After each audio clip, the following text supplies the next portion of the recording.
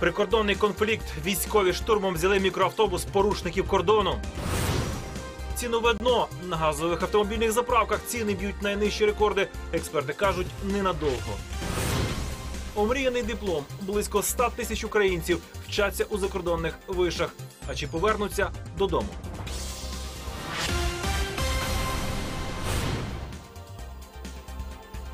«13 лютого, 18.15 на годиннику подій, що вже стали історією. Учора посадили, сьогодні відпустили. Коп, що бив людей і ображав Бандеру, таки вийшов під заставу. Полювання на пенсіонерок на Житомирщині бандити в балаклавах грабують самотніх жінок та їхні будинки. І плавучий міст на Житомирщині. Міст пустився берега, знявся і поплив. Це спецкор, і ми починаємо. Удари в обличчя прикордоннику, штовханина і спроба прорватися крізь кордон. Справжній екшен розігрався на межі з Польщею.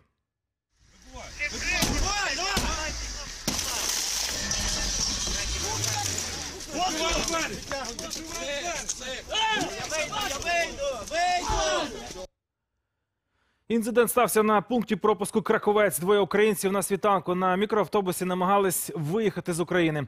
Прикордонники виявили відсутність у них міжнародного страхового сертифіката на автівку, а без нього перетинати кордон зась. Чоловіки обурились такому висновку співробітники та почали гамселити прикордонників. Вгамовувати чоловіків приїхала поліція. Від неї чоловіки забарикадувались у своїй автівці. На вимогу правоохоронців не реагували і спробували прорватися. Тому прикордонники розбили скло та буквально витягнули українців з машини. Поліція їх вже затримала. Поки що за злісну непокору на режимному об'єкті чоловікам світить до 5 тисяч гривень штрафу. Не виключено, що порушникам загрожує кримінальна відповідальність. Вибух у середмісті Львова. Це сталося просто посеред тротуару в каналізаційному колодязі. Вибухова хвиля була такої сили, що повибивала вікна у сусідньому житловому будинку. Чи є потерпілі і що саме вибухнуло під землею? Наталка Волосацька з'ясовувала. Це ексклюзивне відео перших секунд вибуху. З каналізаційного колодязя виривається вогонь. Сусіднього, що за кілька метрів, майже миттєво починає валити дим. Два вибухи лунають з інтервалом у хвилину. У повітря піднімається металевий люк та бруківка. У сусідньому будинку з вікон сипляться розбиті шибки. Взрив був такий, что выскочили все. Испугались, конечно. Вибухова хвиля була такої сили, що дісталась аж четвертого поверху. У пані Оксани на другому вона пошкодила три вікна. Був такий звук сильний. Ми подумали, що стикнулися дві машини на вулиці. Знаєте, підійшли до вікна, і через десь хвилину стався другий вибух. Настільки був потужний звук, що ми взагалі ви розумієте, таке було враження, що я не знаю, чесне слово, як якісь граната зірвалася. Уламок скла поранив її 26-річного сина. На щастя, рана на голові виявилася неглибокою. Шпиталізація не знадобилася. На місце вибуху тим часом прибувають фахівці різних відомств. Слідчі, собаками, рятувальники та газовики разом обстежують люки. Версію навмисного підриву відкидають одразу. Вибухових пристроїв у колодязі немає. Відтак припускають, закоротилися кабелі зв'язку, прокладеному під землею. Мешканці постраждалого будинку стверджують, чули запах газу. За допомогою спеціального приладу газовики вже вранці перевіряють, чи був витік. На нулю. Нема газу. В люках все чисто, нема газу. Кабель замкнуло і зірвалось, напевно. То я не можу вам сказати, то маю тільки, експертиза сказати. Проте вже за кілька годин стає відомо, газ у колодязі таки є. Звідки у компанії зв'язку, що свого часу прокладала там оптичні мідні кабелі, не знають. Кажуть, за графіком такі комунікації у каналізаційних колодязях мають перевіряти раз на три роки. Востаннє це було більше року тому. Було встановлено наявність в цих колодязях одного з трьох газів або метану, або пропану, або вуглекислого газу. Це все було зафіксовано у протоколі робочої групи у відповідному акті. І тепер всі ці документи передано слідчому, який власне і проводить слідство з метою встановити вже остаточно, що відбулося. Звідки ми зараз встановлюємо? Можливо, перша причина, що десь пошкоджений газопровід або, або щось, якісь інші є моменти. Подібний інцидент стався два роки тому у Тернополі. Там у середмісті теж майже одночасно вибухнули 12 каналізаційних люків. Так само, як і зараз у Львові, угору злетіли важелезні кришки. Тоді постраждало двоє перехожих. Один з них зазнав серйозних опіків. Фахівці тоді встановили, здетонувала газова суміш. У Львові офіційної причини вибуху поки що не називають. Чекають висновків усіх експертиз. Наталка Волосацька, Олександр Бригадир, Львів, спецкор 2+,2. На східному фронті без змін, обстріли і поранені. Один український воїн зазнав таке поранення на Донбасі під час ворожого важкого обстрілу. Активність ворога майже по всій лінії фронту.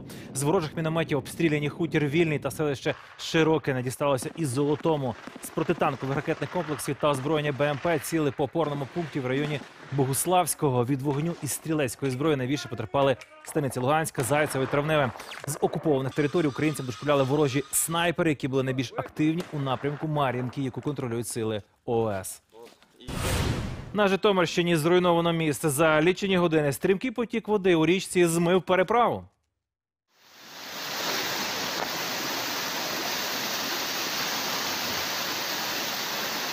Міст стояв поблизу Радомишля і забезпечував рух через ріку Тетерів.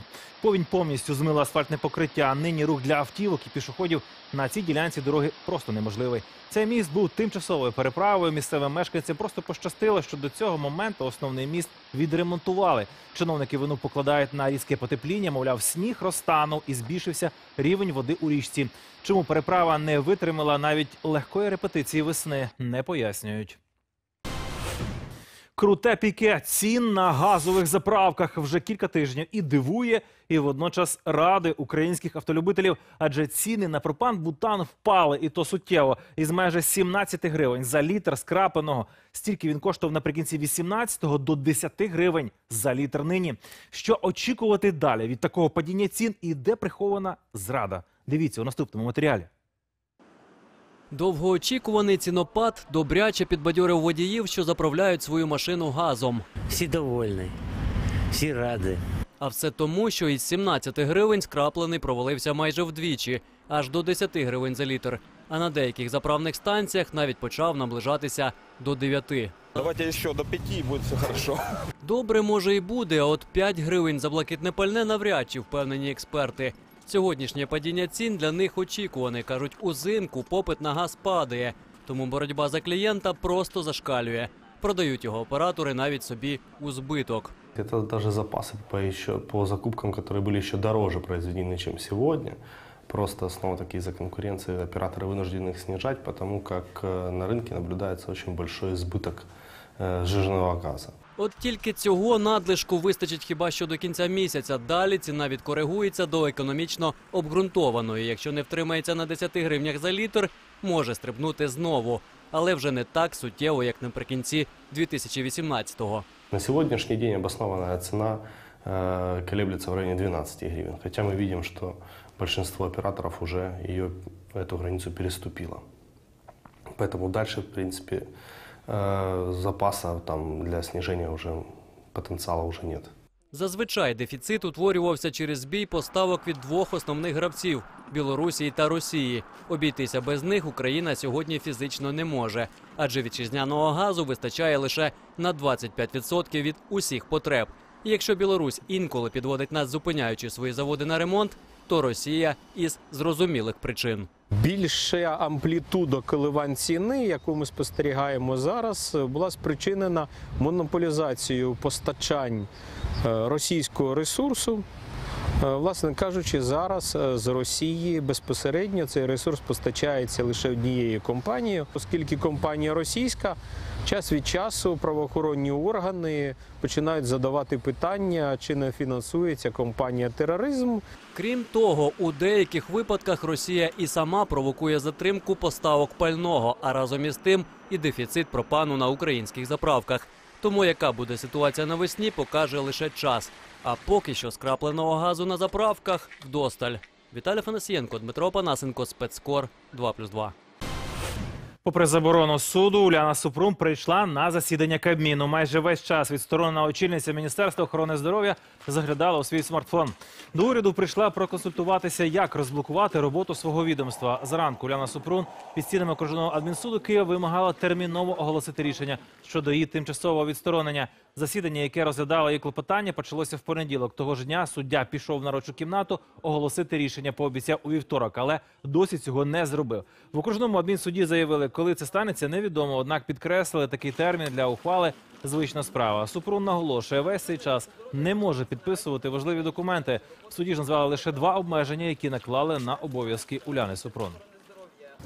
Ми вимагаємо, щоб суддя терміново оголосив його рішення, щоб ми могли знати, як ми далі будемо діяти. Ми сприймаємо це як спробу навмисно затягнути процес та відтермінувати прийняття важливого для всіх українців рішення. Станом на сьогоднішній день є роз'яснення суду, в якому чітко вказано обсяг обмежень, які поширюються. Перше це неможливість участі в засіданні кабінету міністрів. І друге це неможливість е, визначати стратегічний план. Небезпечні та озброєні банду грабіжників, які нападають на помешкання самотніх жінок, розшукують на Житомирщині. Лише за одну ніч зловмисники залізли у дві хати. Четверо у масках з пістолетами вдираються до будинку, погрожують зброєю, вимагаючи гроші та цінності, і ніби спеціально вибирають обійстя, де немає чоловіків. Нападників вже оголосили в розшук, але ускладнює пошуки те, що пограбовані жінки не бачили їхніх облич. Пані Тетяна ще раз передивляється відео зі своїх камер спостереження. Грабіжники б'ють вікно у веранду, дотягуються до замка і відчиняють двері. У будинку горіло світло, а господиня, яка з вікна побачила молодиків у масках, кричала, що викличе поліцію. Марно. Їх нічого не зупиняє, всі біжать. Жінка вибігла через інші двері на вулицю і з усієї сили кликала на допомогу. Нападники кинулися навздогін. Один розмахував пістолетом. Почали кричати: «Работає ОМОН, морда в землю, добиває його. І вони вже схватили цей ланцюжок, чи вони хотіли душити і почувствували його. Я не знаю. Я її автоматично чи скидала, чи щоб в мене був шок. Я побачила перед собою пістолет, який я вибила в них з рук. Її врятувало, що на крик почали збігатися сусіди. Тож грабіжники, забравши лише золотий ланцюжок, кинулися да, да. навтьоки. Поліція, що прибула на виклик, знайшла на городі лише загублений пістолет. Тільки ось так зробила руками і кажу: О Боже! А він е, мовчи, бо зараз задушим, і взяв мені отут за обличчя. Це пані Людмила. До неї у хату того ж вечора, але годиною пізніше теж удерлися невідомі у масках, так само вибивши пластикове вікно. Пенсіонерка мала лише дві тисячі гривень. Відразу їх віддала, але грабіжники вимагали ще. Зв'язали руки, зв'язали ноги, почали ось отут так ззаду. Той, що на по-російськи розмовляв на російській мові ззаду, а я якось оцю руку, наче підтисла ось сюди, отак, щоб, щоб не змогли вони мене задушити. То він перервався цей шнурочок, він відкинув. Сука, ти ще жива? Жінка каже, видалося, що тортури тривали вічність. Їй приставляли ножа до горла і душили подушкою. Я прощалася із життям, я тільки думала, що як ці діти мене ось тут знайдуть, і за що мене мучать за ці дві тисячі. Та я їм одразу вийняла і одразу віддала б ці дві тисячі. Коли почала мліти, її покинули. Жінка змогла звільнити зв'язані руки і подзвонила доньці. До тями її приводили лікарі. Стан шоку, стан стресу. Ну і крім того, черепно-мозкова травма. Злочинці нахабно вдираються в оселі, бо знають, що вдома самотні жінки, певні люди. Тільки хтось сказав, хтось знав, що вона проживає одна. Я не знаю, сьогодні такі тортури, це не люди. В обох випадках нападники були у масках і перелякані потерпілі запам'ятали лише, що один з них говорив російською з немісцевим акцентом. Орудувала одна банда чи кілька, у поліції поки не кажуть. Зауважують лише, на пошуки грабіжників кинули усі сили. Олена Кузніцова, Ігор Кучин, Житомирщина, спецкор 2+,2. Світ без комах через 100 років на землі не залишиться жодної. Група австралійських та китайських вчених шокувала світ.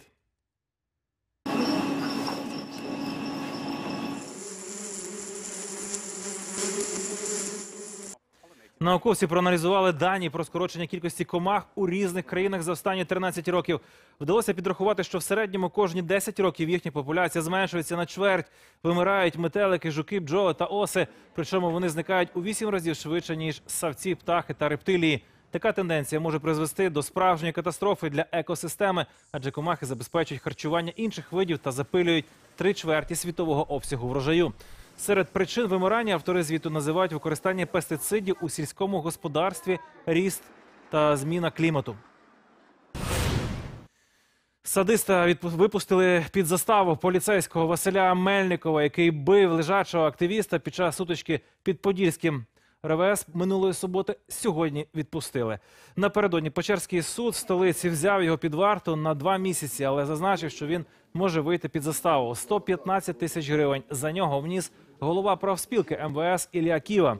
Він вважає, що той просто виконував свою роботу і став жертвою політичної провокації. Грудьми і грішми за поліцейського готовий був стати ще й вілку від опоблоку. Він теж заплатив заставу, принаймні показав товарний чек.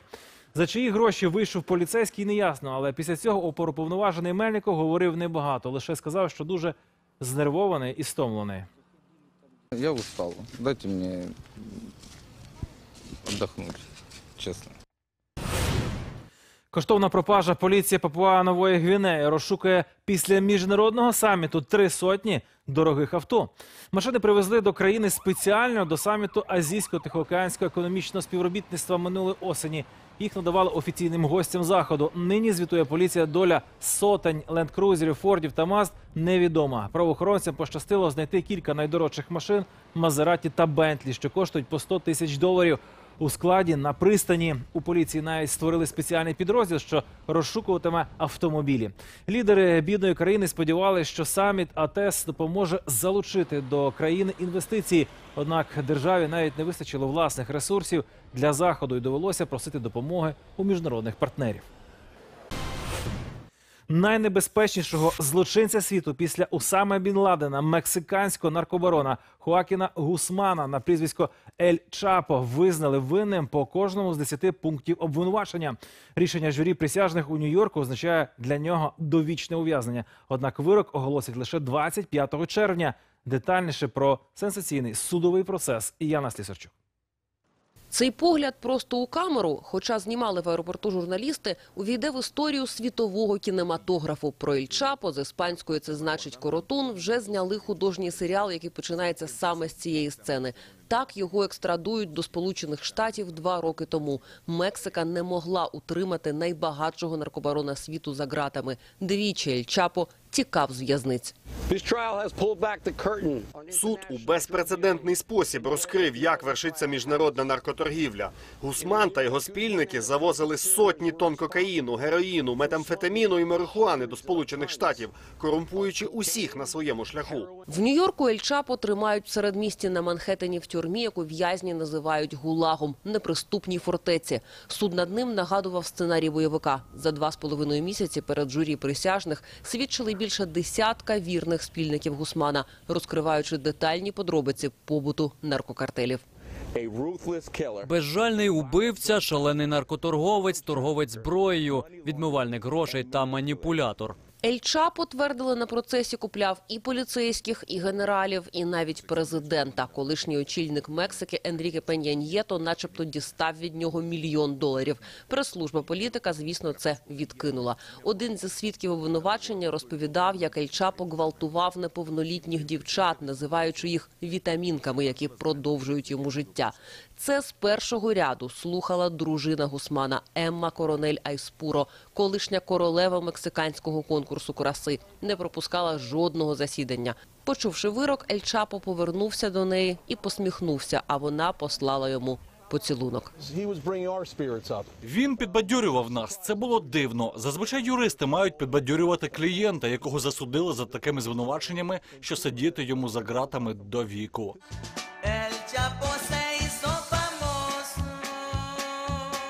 Десятки пісень про Ель Чапо, його життя, торгівлю наркотиками, арешт, втечу, навіть екстрадицію складають на його батьківщині. Для одних у Мексиці він мало не народний герой, завдяки якому всі заробляли. Для інших ненависне зло. Заснований ним картель Сіналоа продовжує возити до Сполучених Штатів та Європи кокаїн, героїн та метамфетамін. Більше 200 тисяч людей загинуло в Мексиці за останні 12 років у війні, яку держава оголосила наркобаронам, а наркобарони один одному. Яна Слісарчук, спецкор 2+,2.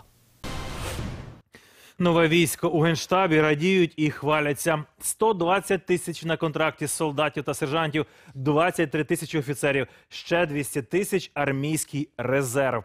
ЗСУ росте, розвивається і змінюється. Тепер у війську щонайменше 16 нових зразків озброєння, 8 тисяч модернізованої техніки. Змінилася і система харчування. Понад 70 частин перейшли на каталогове обслуговування. Але муштри не стало відчутно менше людей, що йдуть із армії щороку більше.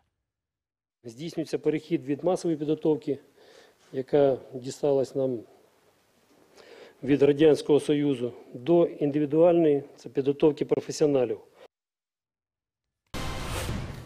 Про вищу освіту за кордоном. Що ближче до ЗНО, то більше студентів починають думати про освіту у Польщі, Канаді, будь-де тільки не в Україні.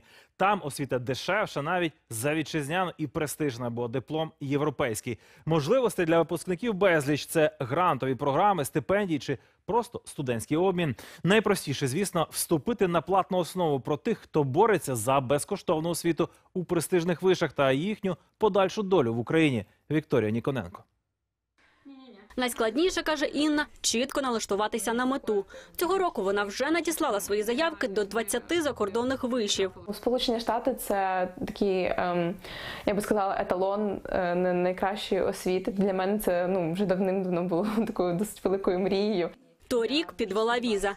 Інна отримала грант, що повністю покривав навчання у Чеширській академії. Не пояснюючи причин, співробітники американського посольства відмовили. Та Інна не здалася і вирішила вступати за кордон цього року знову. Німеччина надає навчання безкоштовно, якщо це німецькомовні програми. Якщо це англомовні програми, є можливість отримати також стипендії на навчання. Якщо ні, то звичайно навчання буде платним і суттєво дорожчим ніж е, в Україні. Родина Інни грошей на сплату освіти за кордоном немає, тому вона шукає грантову допомогу. Написала мотиваційне есе для кожного вишу окремо. Вимоги до таких абітурієнтів суворі. Високий бал середнього атестату це обов'язково. Але ще Це участь в олімпіадах, це участь в різних е, дослідницьких програмах, як от Мала академія наук. Це все, що тебе цікавить. Головне, е, те, що тебе виділить серед е, всіх інших з такими самими можливо досягненнями. Втрачений рік провела із користю. Разом із однодумцями заснувала благодійну організацію, яка займається освітою для школярів та думає про наступний крок до своєї мрії. Вона вже пройшла співбесіду з представниками закордонних вишів. Тепер Інна чекає результатів разом із наставником Юлею, яка пройшла колись такий же шлях і закінчила університет Пенсільванії, про який так мріє її підопічна. Зараз я працюю в фонді A-Ventures Capital. Це перший фонд в Україні, в Україні, який почав займатися венчурними, венчурним інвестуванням. Вчилася і одночасно працювала в університетській бібліотеці. Навчання, хоч і безкоштовне, але заробляла собі на життя, бо не хотіла залежати від батьків. А після закінчення вишу поїхала працювати до Бостона. Повертатися одразу після освіти в Америці це, мабуть, дуже ризиковано, бо тобі, окрім освіти, ще, ба- ще треба там трошки повчитися так названим best practices. Та каже, саме в Україні набагато більше можливостей досягти успіху. знайти роботу, яка і цікава, і ти за нею можеш отримувати непогані гроші. Це дуже можливо для випускника західних вузів. Де можна заробити в принципі такі самі гроші з поправкою на те, скільки коштує тут життя. Якщо це освіта, яка потрібна на нашому ринку праці, роботодавець ладен за неї платити. В Україні іноземна освіта цінується, каже експерт з кадрів Тетяна Пашкіна. Ці випускники мають хороші знання іноземної мови. І люди, які проходили практику вже на тому остаткуванні або з тими системами, вони дійсно більш востребовані і можуть отримувати більші гроші. Це нормально. Головне каже вибрати саме ту професію, яка знадобиться у житті. Наприклад, в Україні зараз юристів та філологів безліч, і мало хто з них може знайти роботу за фахом, навіть маючи якісну зарубіжну освіту. Натомість є потреба у більш прикладних професіях. Інна ж собі за мету поставила вивчати економіку та бізнес. Результати треба чекати тільки весною. Просто будемо так тримати, тримати схрещеними пальчиками. Вікторія Ніконенко, Микита Морозов, Данило Лисенко, Спецкор 2+,2. Тупий і ще тупіший в Одесі грабіжники поцупили 20 тисяч доларів і одразу попались. Чому? Дізнаєтесь після реклами. Пограбування століття в Одесі молодики побили і пограбували перехожого, і самі ж побігли до поліцейського відділку. танки, гармати у дворі. Завбачливий німецький професор колекціонує раритетну військову техніку. Шок для українських військових у селищі Піски, де вже чотири роки тривають бойові дії. Невідомі з боку бойовиків викопують чи то дріт, чи то труби і вивозять цивільним транспортом. І все це у секторі, який постійно прострілюється, що є цінним настільки, що змушує людей лізти під кулі. Військові припускають біднота по той бік через безгрошів'я спокусилися на багатожильний і відповідно дорогий мідний кабель зв'язку, який покладений до Донецького аеропорту. Вони тепер міркують, що робити з такими заробітчанами і чи не підкрадаються таким чином до них самі бойовики. Олександр Загородний докладніше. Це той випадок, коли ви маєте просто повірити мені на слово, тому що показати секретну систему відеоспостереження військових ми не можемо. Але я на власні очі бачив, як двоє чоловіків на передовій копають кабель. Вірніше, копає один, а інший витягує його. Ріже такими шматками десь по метру і скидає це все у багажник. Спочатку ми подумали, що це противник риє другу лінію оборони, а потім, коли вони почали виносити і різати на місці то лі кабель, то лі труби, не, не зовсім понятно. Тоді зрозуміли, що вони просто займаються мародерством. Так що вже дожилися вони? Е, Можливо, я не знаю. Можливо, дожилися, а можливо, просто якийсь окремий вид збагачення певних елементів вордло. Можна їх відтіснити, можна їх злякати. Тільки я, я ж кажу, нам не дуже зрозуміло, тому що приїжджають гражданські машини. Непонятно, чи то воєнні, чи то місцеве населення. Тому вогонь, вогонь не відкриває. Військові кажуть, це непогана ознака, тому що коли викопають останній метр алюмінієвого дроту і спалять останню шпалу, тоді вони перестануть, можливо, стріляти і нарешті почнуть говорити. З Донецької області Олександр Загородний, Влад Журенко та Віталій Овсяніков. Спецкор 2 плюс 2. Тренування для душі і тіла замість суворих армійських навчань. Курдські вояки беруть на озброєння йогу. Зафір, Pigman, Robert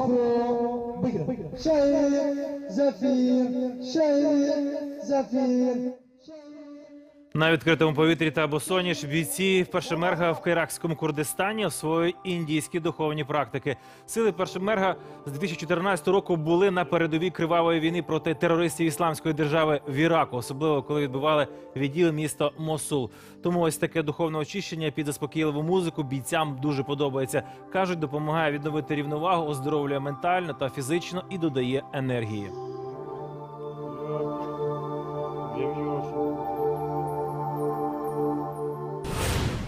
Найневдаліше пограбування на такий рекорд можуть претендувати два одеські злодії, які обікрали підприємця. Чоловіка, який йшов вулицю, заштовхали у під'їзд будинку. В нього забрали барсетку. Загалом у ній було 20 тисяч доларів. З грошима в руках щасливі крадії дали драпака і не помітили, що мчать просто під будівлю поліцейського райвідділку. У цей час саме була обідня пора. Оперативники вийшли на вулицю випити кави. Як тут їм просто в обійми і втрапили горе крадії. За кілька хвилин невдах поклали обличчям в асфальт замість 20 тисяч доларів. Нині їм загрожує 7 років за ґратами. Один толкнул ключом, второй ударил, потом ногами добивали. Ну так, чуть-чуть сгруппировался, поэтому ну, схватили сумку и побежали. Ну я же стартанул за этим. Я же начал гнать, он бежит, сумка убегает туда-сюда. Сумку скинул, короче, в машину в чью-то. И ж дальше убегает. Ну я догнал его вот тут вот. Маленький, худенький в окулярах, типовий професор з Німеччини. І все б нічого, якби не колекціонував танки, гармати і ракети. Не модельки у зменшених масштабах, а справжні панцерники і гармати від повоєнних часів і донині. У 54-річного професора економіки це просто хобі.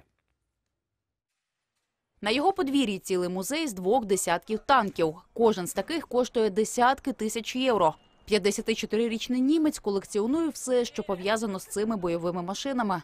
Деякі з експонатів йому дісталися від німецької армії з єдиною умовою, що більше вони не будуть придатними до їзди. Ця зброя була свідком екстремальних подій на війні. Ось що мене причарувало. Своє хобі він порівнює з колекціонуванням середньовічних експонатів. З єдиною відмінністю каже, предмети давніх воєн люди збирають з набагато більшою охотою. Причина нашого скептицизму щодо цих транспортних засобів криється лише в їхній історичній близькості. Захоплення нелегке. На кожен з експонатів доводиться буквально полювати. Секретом, як він примудрився зібрати свою колекцію, німець ділиться з журналістами. Ви не можете з легкістю знайти ці машини в інтернеті. Інколи вам доводиться роками благати досвідчених колекціонерів віддати їх. Ви маєте роками налагоджувати контакти, поки не знайдете правильного об'єкта. І це завжди хвилює. Це як маленьке полювання на скарби. Він не лише збирає та примножує власні скарби, а й пропонує всім охочим невелику екскурсію. Прогулянки власним музеєм проводить у вільний від роботи час. Каже, все, аби люди не забували свою історію. Катерина Федорченко, спецкор 2+,2.